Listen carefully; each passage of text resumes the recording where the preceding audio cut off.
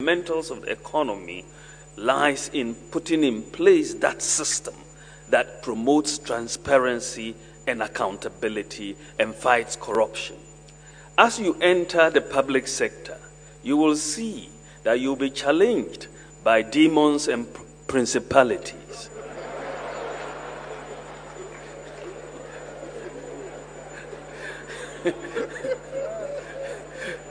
the demons and principalities are all over the place. And you have to fight them. And we are going to fight them. And we are going to win that battle.